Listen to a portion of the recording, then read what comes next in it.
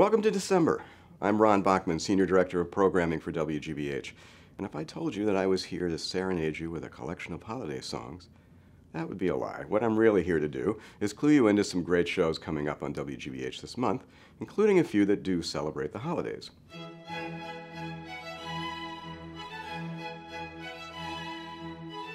First up, though, is a show that would be welcome any time of year Aretha Franklin Remembered. In this new special, the Queen of Soul performs her greatest hits in television appearances that range from the 1960s to the 2000s.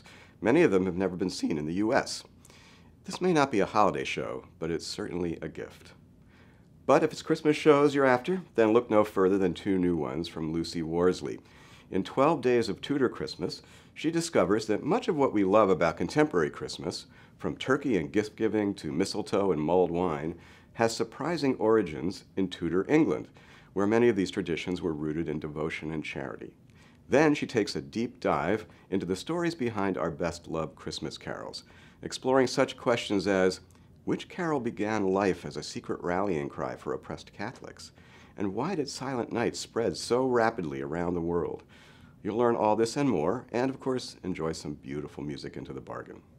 Ornament of the World is a historical tale with an especially timely relevance. It's the story of how Muslims, Jews, and Christians forged a common cultural identity that helped them transcend their religious differences. It happened in Spain from the 8th to the 15th centuries, when these groups managed to sustain relationships that allowed them to coexist, collaborate, and flourish. And finally, on New Year's Eve, we'll welcome in 2020 with the New York Philharmonic, celebrating Sondheim live from Lincoln Center. The orchestra and guest vocalist Katrina Lenk from the band's Visit showcased the symphonic music of Stephen Sondheim with suites from Sunday in the Park with George, Into the Woods, Sweeney Todd, and more.